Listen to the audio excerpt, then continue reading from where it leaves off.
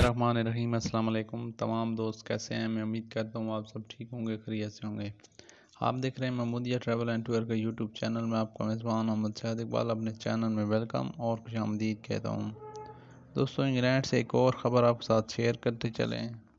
Travel मुसाफरों के हवाले से बड़ा इंकशाफ सामने आ गया। यूके हुकूमत ने खबर जारी कर दी। तमाम तफसीत शेयर करने से पहले छोटी सी गुजारिश करेंगे कि वीडियो को लाइक करें, चैनल को सब्सक्राइब करें, वीडियो तमाम दोस्तों में शेयर ज़रूर करें। दोस्तों, एक नई तहकीक में इंकशाफ किया गया है कि बरतानिया के मुसाफरों ने इस मौसम गर्मा में कोविड टेस्ट के लिए एक बिलियन से ज़्यादा रकम अदा की है।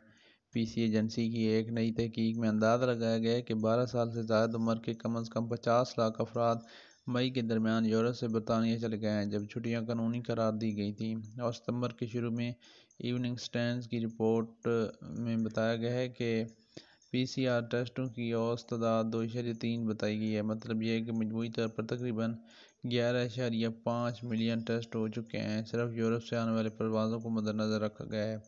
एविएशन के मुस्तबिल के लिए आल पार्टीज़ पार्लिमानी ग्रुप की तहकीक से पता चला है कि हुकूमत की तरफ़ से मंजूर शुदा पी सी आर टेस्ट की औस लागत तिरानवे डॉलर, तिरानवे पाउंड थी, जो सार्फिन की तरफ़ से मजमूरी तौर पर अदा की जाती है। मज़ीद रिपोर्ट में बताया जा रहा है कि बरतानवी ख़ानदान अपनी गर्मी की छुट्टियाँ, एक अरब से ज़्यादा ये तादाद बहुत ज़्यादा हो सकती है, क्योंकि अदाद शुमार ने यूरोप के बाहर से परवाज़ करने वाले पर पहुँचने या यूरो स्टार का इस्तेमाल करने वालों को मद्देनज़र नहीं रखा। पीसी एजेंसी के सीईओ पाल चार्सल ने कहा है कि यह एक बिलियन डॉलर की सनत तेज़ी से तरक्की कारी है, जिसकी कोई वाज निगरानी या जबता नहीं है। एक पूरी मौसम गर्मा और जब सार्फिन को इन टेस्टों से महरूम कर दिया गया है तो इनकी आसमान की बुलंद कीमतों पर ज़रूरत नहीं है। ये खबर बरतानी की सबसे बड़ी पी सी आर टेस्टिंग कंपनियों में से एक माहिर मेडिकल चंद दिन बाद आई। दोस्तों तो ये थी अपडेट मजीद अपडेट्स के लिए वीडियो को लाइक करें, चैनल को सब्सक्राइब करें।